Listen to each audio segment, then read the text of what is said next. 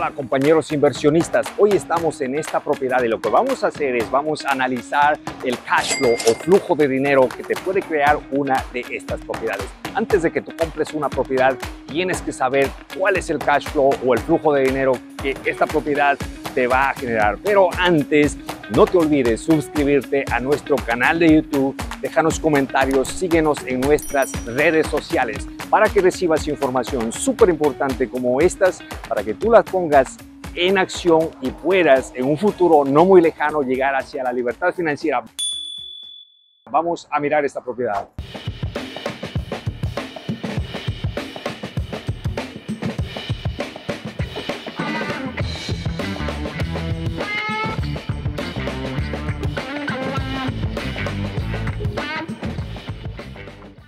Ok, estamos en esta propiedad de inversión, esta propiedad que la tenemos rentada y queremos explicarles cómo funciona el análisis del cash flow, cómo nosotros sabemos o cómo nosotros analizamos el cash flow de una propiedad antes de comprarla. Y para eso voy a utilizar esta propiedad que la tenemos de inversión.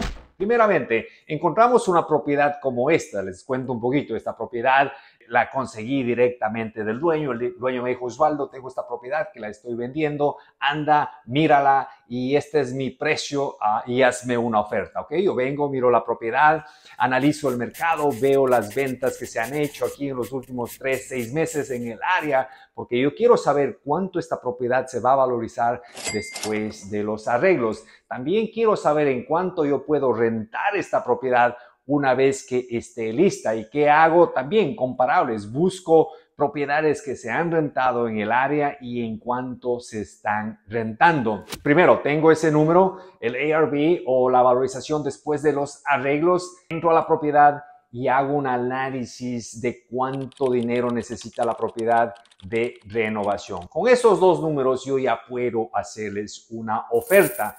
Digo que esta propiedad se va a valorizar más o menos en 150, 155 mil dólares. Yo sé que el banco, una vez que yo hago las renovaciones, me va a hacer un refinanciamiento y me da hasta el 75%. ¿Cuánto es el 75% de 155 mil dólares? Son 116 mil dólares, ¿ok? Ahora, en cuanto yo compré la propiedad, yo le hice una oferta de 70 mil dólares, me aceptaron 70 mil dólares la compra, también hice mi scoop of work o mi lista de reparaciones y eso fue de 44 mil dólares. Inversión total en la propiedad, 114 mil dólares. También sé que esta propiedad la puedo rentar en 1700. Ahora, yo voy al banco y le digo, señor banco, que hágame el refinanciamiento. El banco me dice, ok, voy a enviar al tasador, envía al tasador, me da una valorización de 156, 155 mil dólares. Eso quiere decir que ellos pueden darme hasta 116 mil dólares. Yo le digo, señor banco, solamente necesito la inversión total de la propiedad, que son 114 mil dólares. Ahora tengo una propiedad 100% financiada. Obviamente, tengo un pago al banco, tengo que pagar taxes, seguro, eh, manejamiento, mantenimiento, vacancia, etcétera, etcétera. Todos estos gastos de operación, esos gastos mensuales son 1.200 dólares. Ahora, la casa está rentada por 1.700. ¿Qué quiere decir eso? ¿Cuál es esa diferencia? Esa diferencia entre los pagos de operación, el pago del mortgage, taxes, seguros y eh, la renta, eso se llama cash flow o flujo de dinero. Esta propiedad nos está creando 500 dólares. Todos los meses nos está creando 500 dólares de cash flow. Algo súper interesante aquí. Mucha atención a esto. ¿ah? La inversión total, ¿se acuerdan? La, la, invertimos 114 mil dólares, 70 mil dólares para comprar, 44 mil dólares para la renovación pero la propiedad se valoró en 155 mil dólares. ¿Qué quiere decir esto? Que hemos creado 41 mil dólares de equidad. ¿Ok? Esto es, esto es muy poderoso, pero obviamente estamos enfocados en cómo nosotros analizamos el cash flow de esta propiedad. Nuevamente, acuérdense, necesitamos saber en cuánto vamos a rentar la propiedad y cuáles son los gastos de operación. La diferencia de esos dos números nos da el resultado de cuánto cash flow una propiedad como estas nos va a crear todos los meses. Ok, vamos a hablar un poquito de esta propiedad, que es una propiedad de renta. ¿Qué es lo que lo hemos hecho en esta propiedad para nosotros dejarle listo para la renta? Y obviamente hay muchos tips bastante importantes como eh, la inspección de LED, por ejemplo, el plomo. Estas propiedades viejas tienen plomo, entonces es muy importante averiguar cómo funciona lo del plomo. Si tú no tienes idea de qué es el plomo, cómo funcionan las inversiones, recuerda que nosotros tenemos esta gran plataforma de enlacancha.us donde nosotros te damos toda la información paso a paso, cómo hemos hecho cientos de estas propiedades para que tú empieces a invertir en bienes raíces o si ya estás invirtiendo en bienes raíces, no cometas errores, o al menos no cometas los errores que nosotros hemos cometido, especialmente al principio de, nuestra vida como inversionistas, ¿ok? En esta casa le pusimos todo nuevo, toda la plomería es nueva, el sistema de aire acondicionado es nuevo. Uno de mis enfoques principales es hacerlo mecánico, eh, nuevo y bien hecho, porque eso es lo que usualmente te traen problemas grandes cuando tú estás rentando la propiedad. Si todo lo mecánico está bien, lo único que se te daña cuando una propiedad está rentada usualmente son cosas cosméticas, ¿ok? Plomería nueva, puedes mirar plomería nueva.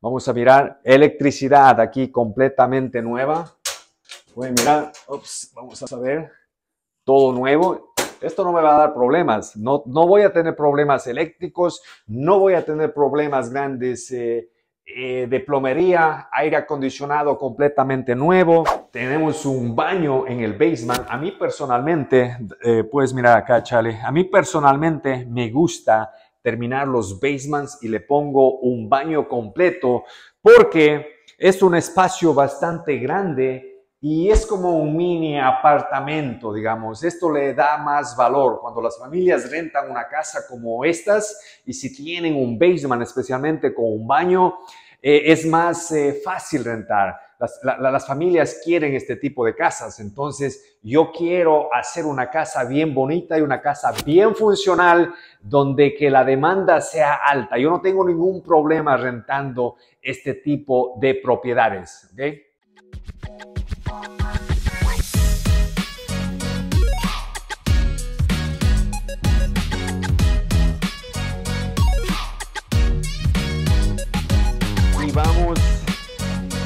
Acá al primer piso. Esta es la cocina. Todo bonito, siempre les ponemos granito porque el granito, aparte de que no se daña, no se rompe, protege a los gabinetes, ¿ok? Esta casa tiene parking en la parte de atrás, eh, ventanas, muy importante que las ventanas funcionen de la manera correcta. Utilizamos pisos, eh, ¿cómo se llaman estos pisos? Eh, no son, laminados, son laminados, pero son waterproof, es decir, que si aquí se cae agua, los pisos no se dañan, simplemente se les seca y no se dañan, ¿ok?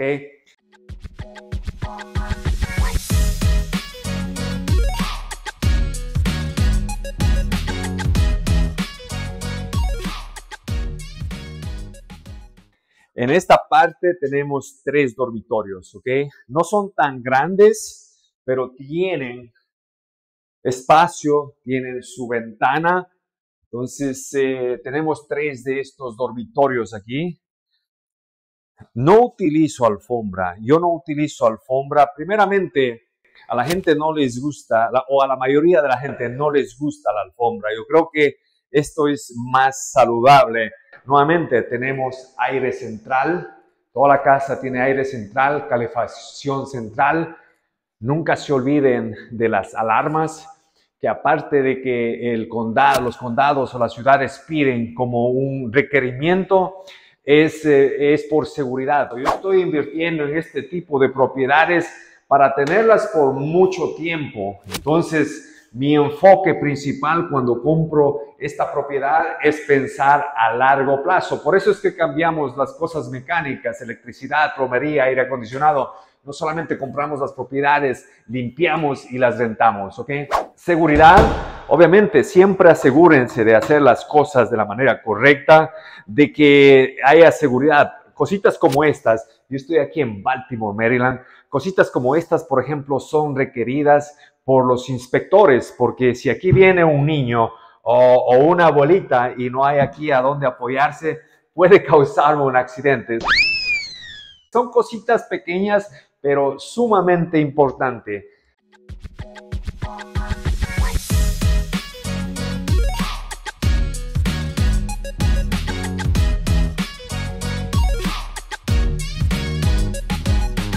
Es como nosotros hacemos este, este tipo de propiedades. Lo importante acá es la educación, lo importante es aprender los números, ¿ok?